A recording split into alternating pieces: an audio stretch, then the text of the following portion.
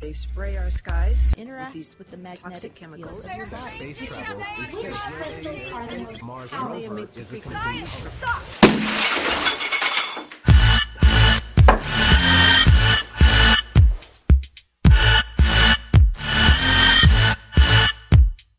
Hi, I'm Rich Lund, and welcome to another episode of Debunk the Funk, and I'm very excited to bring this one to you. In the two most recent episodes of Debunk the Funk, we've been examining how the flat earth idea tries to handle gravity. In Debunk the Funk number 11, we explained why the flat earth idea is incompatible with the force of gravity. That even if an earth were flat, due to mass attracting mass, gravity would pull the matter into the most stable position, minimizing distance, producing the most compacted three dimensional shape possible.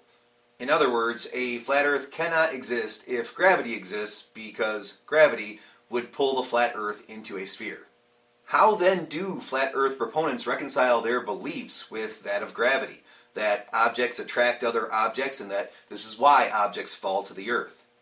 In terms of why objects fall to the earth, episode number 11 examined the most common flat earth go to explanation that gravity doesn't exist and that's not why objects fall, but that it's all about density somehow. So, in that episode, a demonstration was set up that established that there is indeed a force in the downward direction, and it did so in a way that density is useless to explain. Episode number 11 debunked the flat earth density explanation for gravity, showing that it can only handle certain cherry picked situations but falls apart under other easily observable situations. Another, admittedly less common flat earth explanation for gravity recognizes that yes, there is a force of attraction for all objects in the downward direction, but that that force is not gravity. Instead, the force of attraction is due to all objects, including the Earth, having a charge, and that the attractive force is somehow due to these charges. In Debunk the Funk number 12, using what we can already know about electric charges from first-hand experience, I showed how a charge explanation for gravity cannot be true, equipped with just a balloon and some pieces of paper. Well, now it's time to look at an area of flat Earth's denial of gravity that they do all seem to agree upon. If you've never seen it or just need a quick review, here's the equation that describes Newton's law of gravitational force. The force of gravity two objects will both experience is a product of the two objects' masses and will be inversely proportional to the square of their distance apart. When it comes to the strength of gravity, mass matters and closeness matters. So now that that's been reviewed, well, that's what flat Earth seems to unanimously reject. They feel that Newton's law of gravitation is a lie, that it cannot be observed, you would not be able to demonstrate in a at-home or classroom setup mass attracting mass. Well, here's where the Cavendish experiment comes in. The gist of it is to have two masses hung in a way that is referred to as a torsion balance. The masses are hung in a way that allows them to be balanced, but also allows the entire balance to be relatively free to rotate.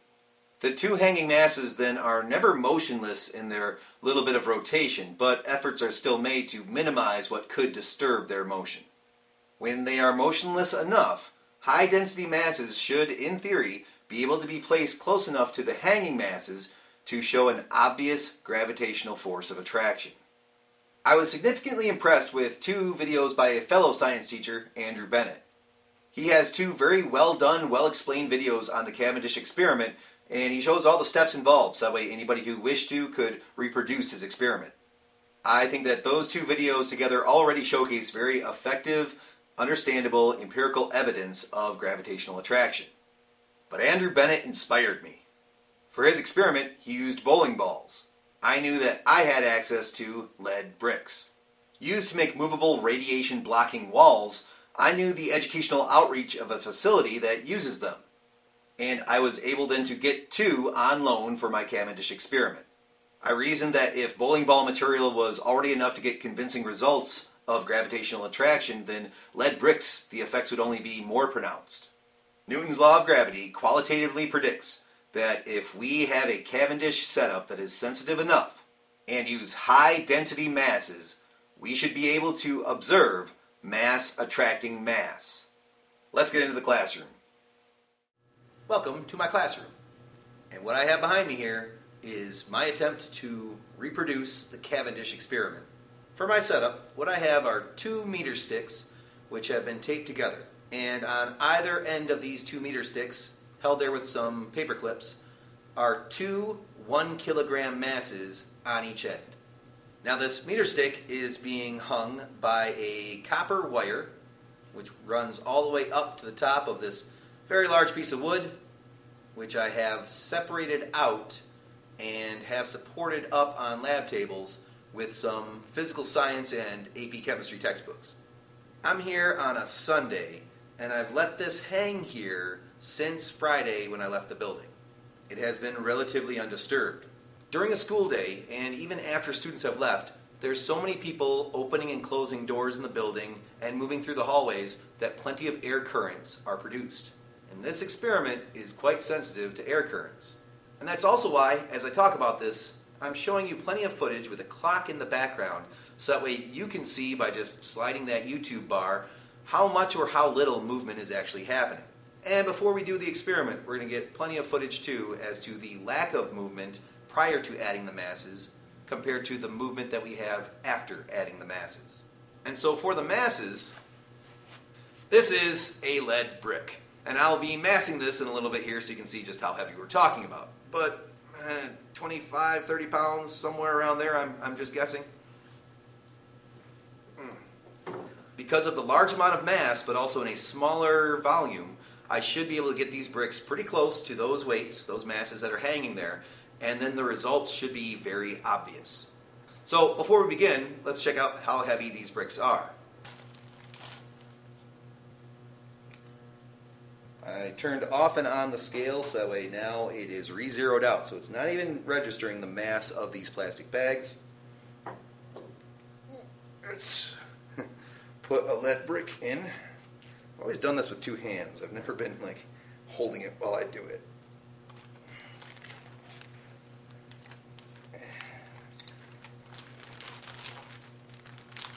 I want to get this on footage, of course.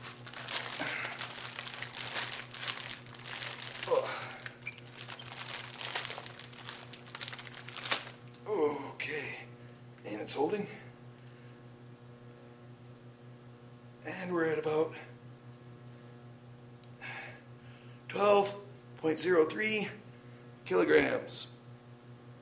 Eh, get a workout doing this. So, that's about a little bit over 26 pounds, but not 27 pounds yet. My mental math is correct. When it comes to a Cavendish experiment, it's not just about how much mass you use, it's also about how much volume it's taking up. If you had something really large and massive like a car, well, that also takes up a whole lot of volume.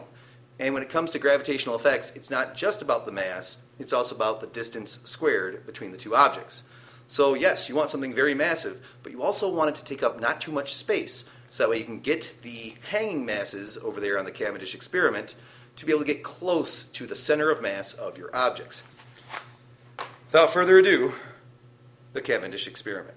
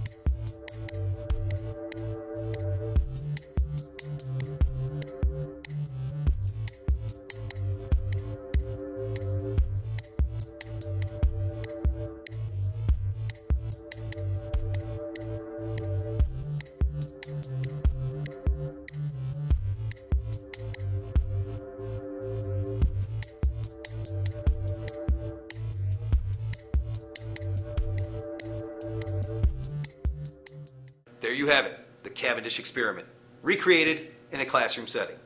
Now I'm going to pack up my stuff and head home. I'll meet you there and we'll talk about it. From the downward angle, we can see the torsion balance's amplitude.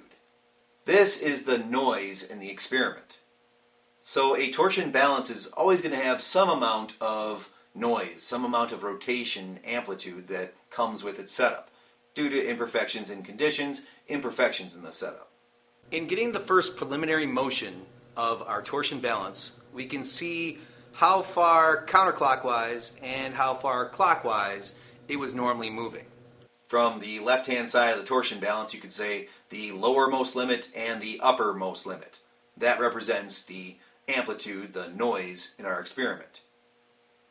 When the lead bricks are put in place, the torsion balance was already moving counterclockwise. Yet, notice it does not reach the previous maximum counterclockwise position. If there was no attraction to the lead bricks, then adding the lead bricks should not have prevented in any way, shape, or form the torsion balance from just continuing on to that maximum counterclockwise position. Already moving counterclockwise, when the lead bricks are placed, the torsion balance slows down, doesn't reach the previous maximum counterclockwise position, slows down and changes direction, and begins then moving towards the lead bricks. The only way in physics that this can be occurring is that the torsion balance is being accelerated in the clockwise direction.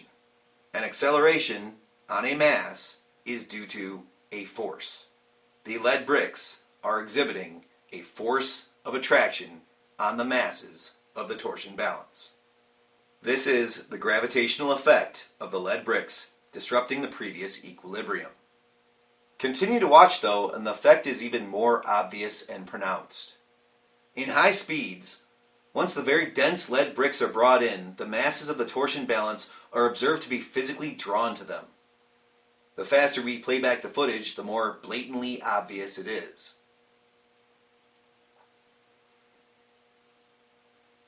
From the side view, the evidence is again compelling. This is an observable force of attraction between objects. This is gravitational force. Beautiful, observable, empirical, gravitational force. Thank you for joining me on this episode of Debunk the Funk. I want to thank Andrew Bennett again for the inspiration, and I want to thank you for checking this out. I'm Rich Lund, and I'm here to remind you the world needs critical thinkers. Make sure you're one of them.